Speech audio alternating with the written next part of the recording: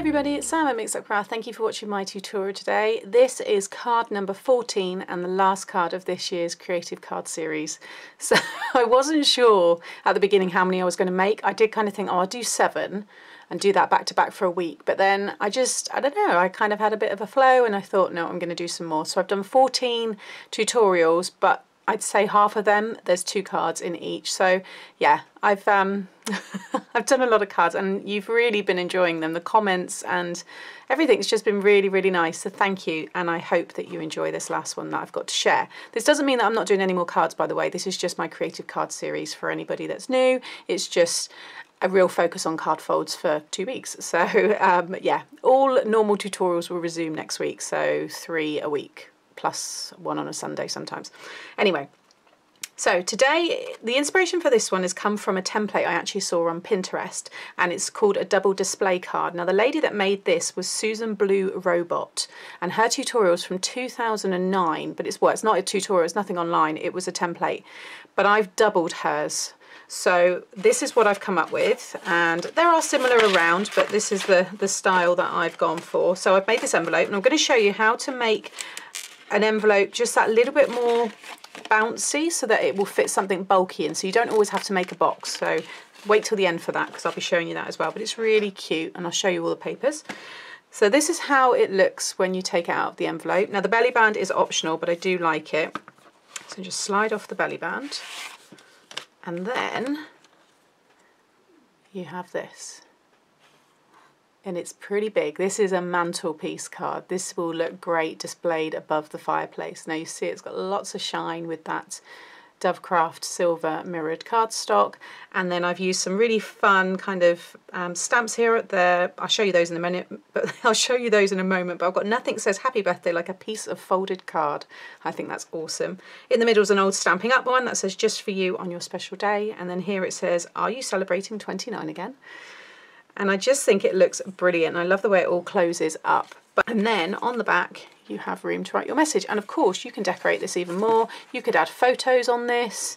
There is so much scope to you know really personalize this card and then it stands up like this. So you can have it quite spread out once you obviously play around with it. There we go.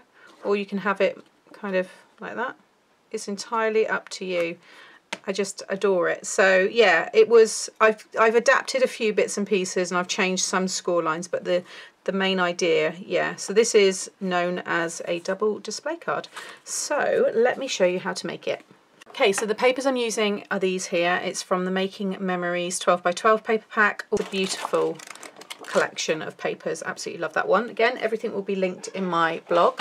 And then I've got everything here. So I am not going to decorate this one. I'm going to do all the mats and layers, but in terms of like the stamping and stuff, I'm not going to do that on this one because I want to leave it blank until I know who I'm going to give it to.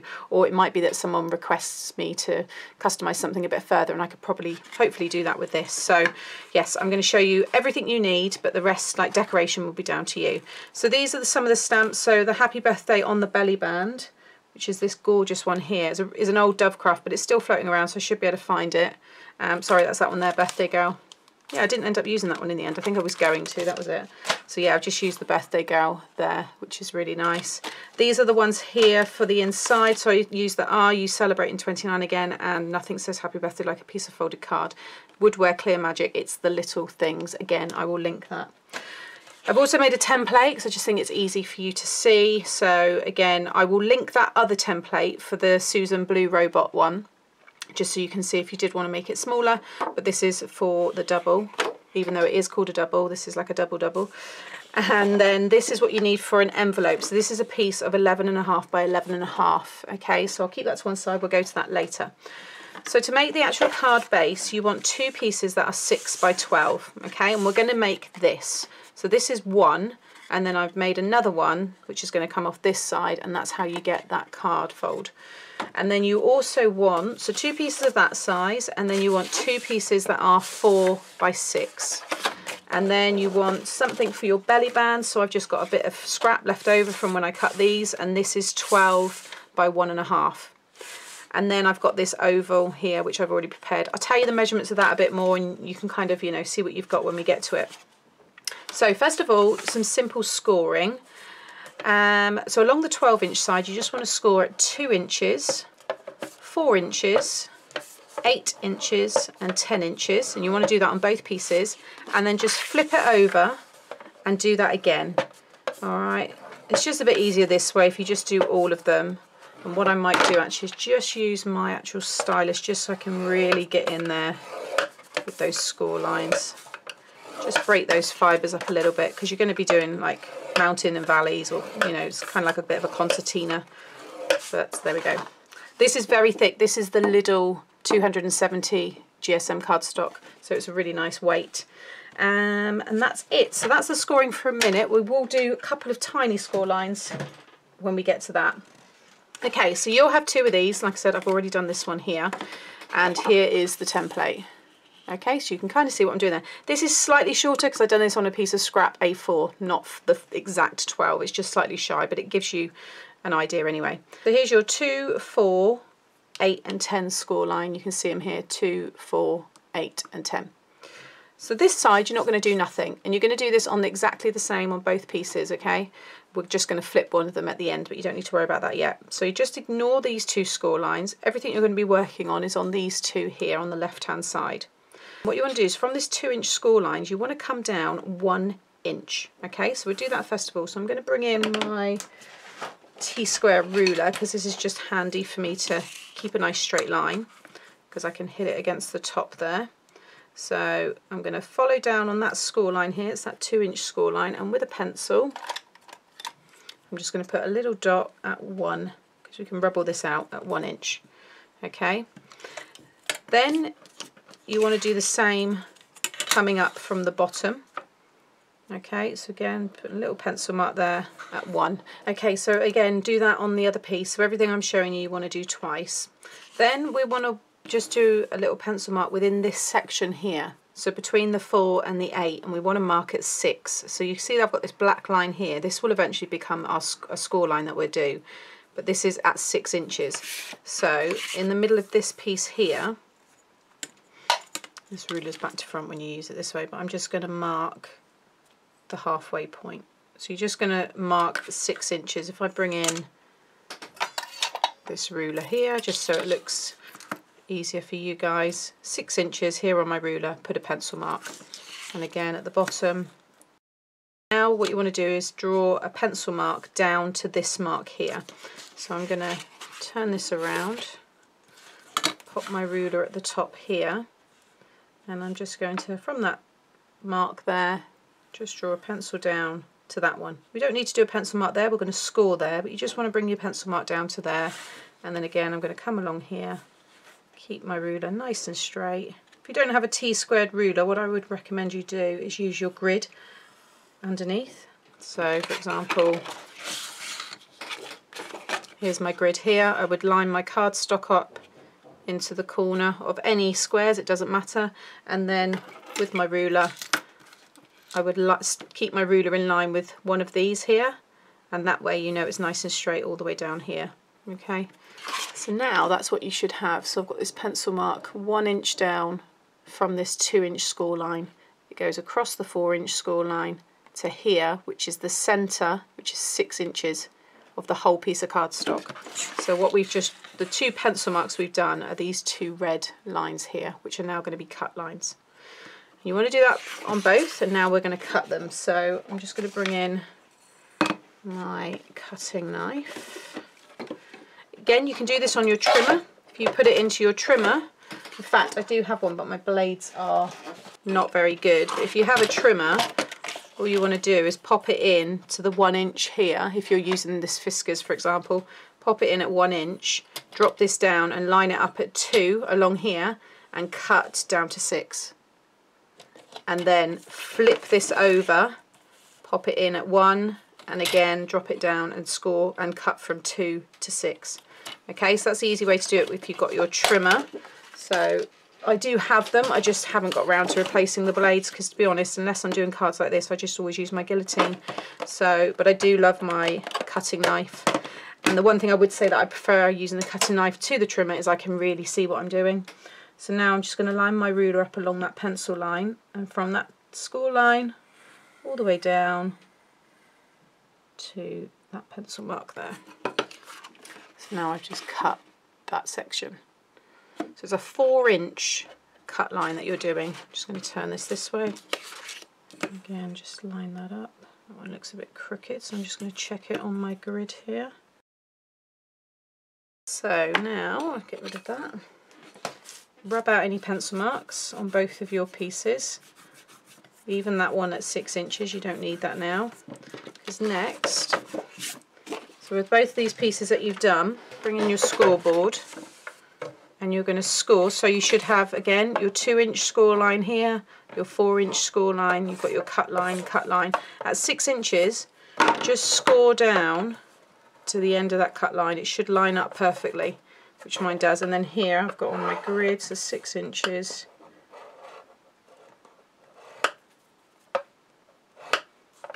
Like so. So you can see now where I've just scored, just down to there.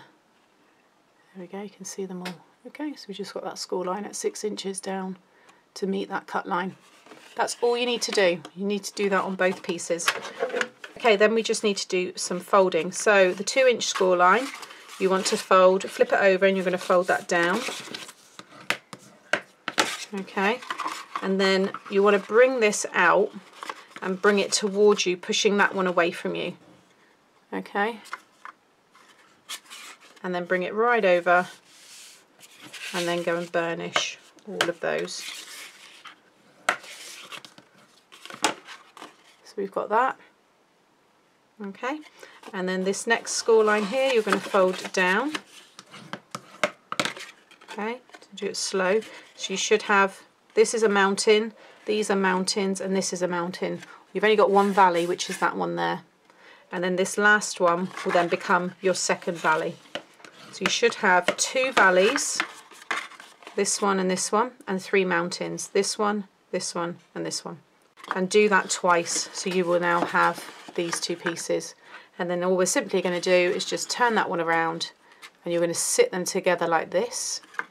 And then those two pieces of cardstock that I told you about earlier will sit perfectly, joining the whole thing up. So it looks like one big piece of cardstock. Now it's up to you in terms of decoration whether you want to decorate them separately. I prefer sticking it all together as I am about to now and then you can really kind of see it, um, how it's all going to look together. So all you want to do is grab some glue. I'm going to use my Collall and just cover one of these first. I'm going to sit one over the top. Focus on the bottom, get the bottom lined up so then least then the card will stand and not wobble and if you're slightly out on the top you can trim that. So I'm just going to stick one half and then pop this down on the other. And you just want to go up to the score line when it's in its folded form because that way you know it's going to close down. So don't have this really flat and stick it down and go over that score line because it's going to buckle and it won't allow you to fold. So just make sure that you keep it up in that kind of that position like that and then stick everything down. You just get a, a much nicer finish overall okay and then flip it over because you'll have this join. And then just cover it with the other piece. And you don't have to have them the same colour as me.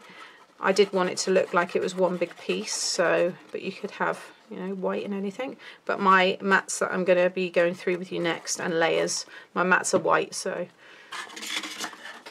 And then just stick that one over the top.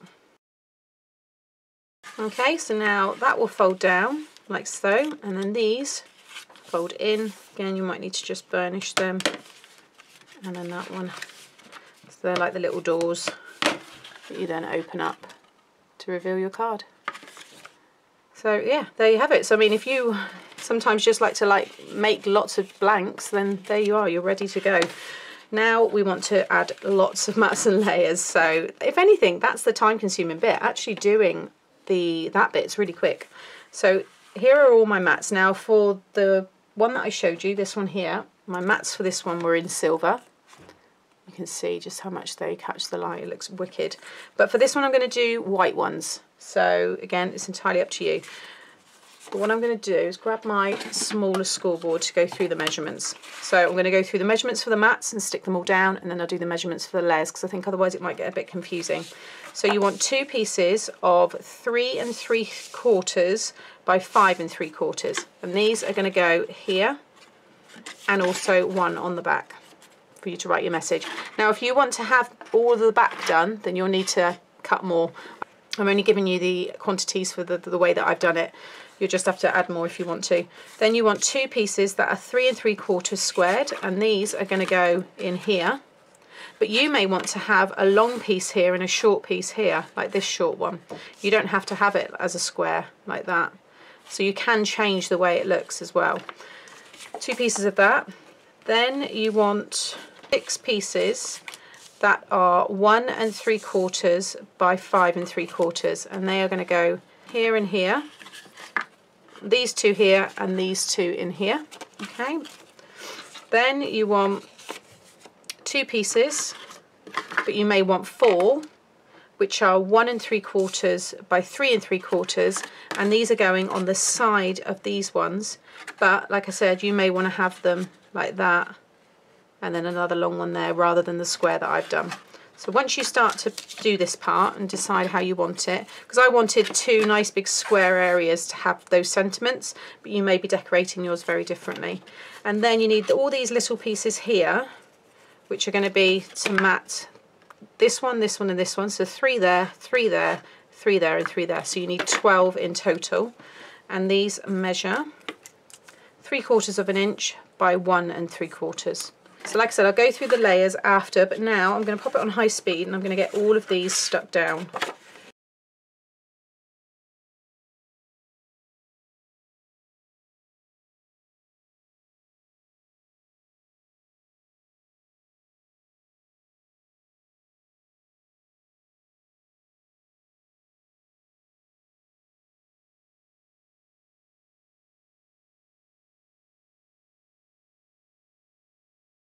Okay, so there's all my mats laid down. I think it's once you start laying them down, you really get to appreciate all the different kind of sections and folds on the card. One thing I realised is that I didn't cut any for this piece here. So this size of these ones, you'd need four get my fingers right, yeah, of that size, because that will go on there, and I'll add that in later on. But now, how cool does that look? So next, you want to add all of your layers down. So I've already gone ahead and prepared them all. Now, it's basically, I've just dropped down by a quarter inch increment on all of the sizes that I gave you there. So let me just grab my scoreboard again to give you the measurements. So for these big squares here, you want two pieces that are three and a half by three and a half, and they're going to go in there. Then I've got four in this pattern, but six altogether because I've got two in that pattern there. And these are to mat on all of these panels here. So again, total you need six that are one and a half by five and a half. So you've got one there, there, there, there, and then for the reverse of these here, because this is the front.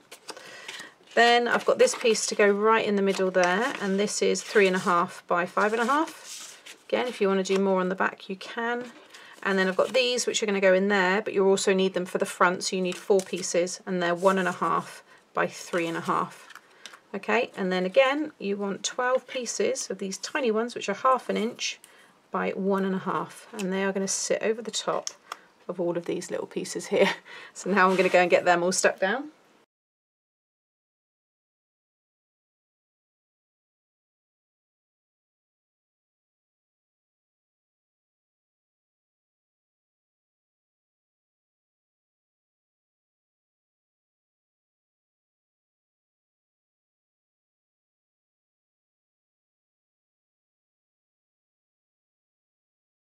Okay, so now there's the front and then all of the inside. Doesn't that look fantastic? This is, well, it is a wow card, but how great would that look with a, you know, big number 60, 50, 21, whatever. It would look great. Even a really cool wedding card as well. There's just so many great ideas for this. So that's the card done. So now you can obviously stamp and decorate even more. And then I want to show you the belly band and the envelope. So for the belly band, this was 12 inch piece of scrap. So I'm just going to keep it nice and straight with my grid, pop this down just so you've got roughly the same amount overhanging and then you just want to lightly wrap it, okay? This is a thicker card so it's probably, yeah, not the best. It shouldn't crack, it's still okay because it's quite, it's actually very good quality. So now you can see it just comes to here. So whatever you have, you want it to be able to join. So this oval meets this either side so it will, will be able to form a band so it will all join together.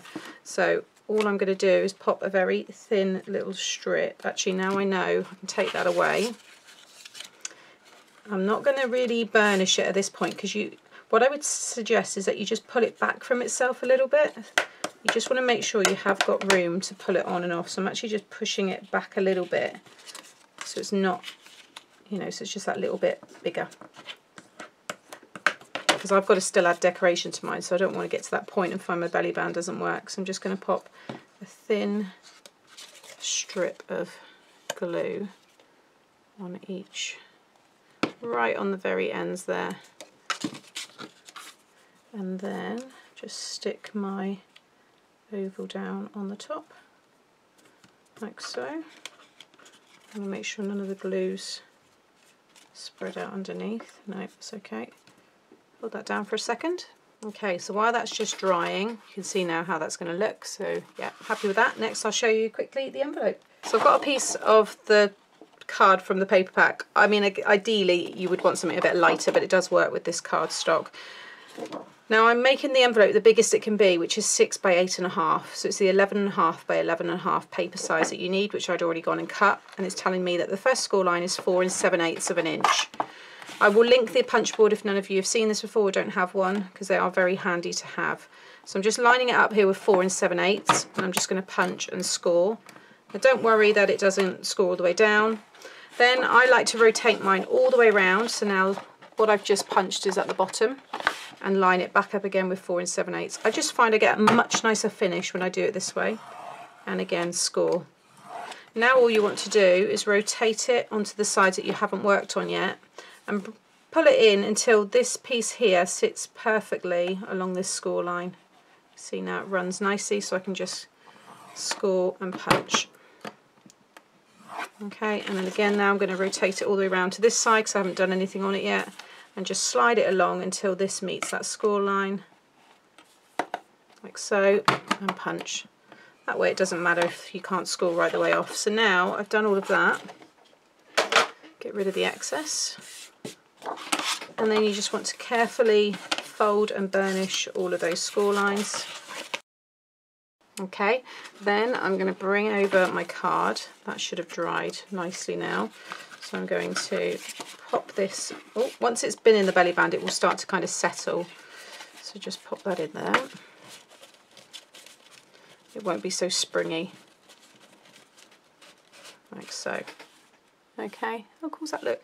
Now put it in the envelope and grab some tape. So I'm going to use some double-sided tape and you want to run your tape along the bottom of these two here. You don't have to have the card in actually at this point. You just want to run the glue, the tape, sorry, along the bottom. Okay, take the backing off. Make sure again they're on the bottom. Pop your card in. You've got nice amount of space in this, so if it does get bulkier, if you've got any decoration you want to add on here, you have got a bit of room to the left and the right. It's pretty much there with regards to the height bring in the sides and then stick the base down because it will now just stick around the bulk of the end of the card that's in there like so so now when I remove that you can see it's quite springy. It's already now the size that you need it to be for that. If you were to just stick it down without the card inside you probably wouldn't be able to get that in. And now you can just bring over the top. Again it will stick. You run your tape all along these two sides and then that will stick right down. But that way you get a much nicer finish. That is a bit bulky, with probably in the UK that would be a large letter. So it just costs you a little bit more in postage. And then on the front, I just decorated my envelope with a white piece um, that I die cut with one of my decorative rectangles. And then this I fussy cut from the paper pack from me to you, which I thought was really cute. And again, you can see it's, it's already got that kind of space in there to hold that card. So there you go, that is my double display card and I absolutely love this. I love the mirrored cardstock but I wanted to show you how it just as nice it looks without that. You don't need to have all that shine and not everybody likes that so that's why I thought I'd make the two but again, if you want to just get ideas for decoration, it's pretty simple to be honest. I've only added this, this and this, but there's obviously lots more you can do with it. And I do have some pieces that I've fussy cut from the paper pad that I may well add to this in due course. But for the minute, it will sit with my others until the day comes that, uh, yeah, somebody needs this card because I can still personalise this. And um, this belly band I made just that little bit tight which I probably will, I think the more I put it on it'll be fine, but yeah, how lovely do they look. There you go guys, that is project number 14 of this year's Creative Card Series 2019. I've absolutely loved it. Thank you for all the comments, all the likes, all the shares, it's all appreciated. And yeah, I'm going to slow down now on the cards. I do, I will still be posting cards, don't worry, but um, it'll be back to normal tutorials next week and probably a little bit calmer as well just because I've got other things going on as well. So yeah I hope you've enjoyed it. Please leave comments below. If you've liked this one please give me a thumbs up and subscribe to the channel so you can watch all of this year's creative card series and see next year's and all my other projects that I've got to come. So thanks for watching guys and I'll see you all again soon. Bye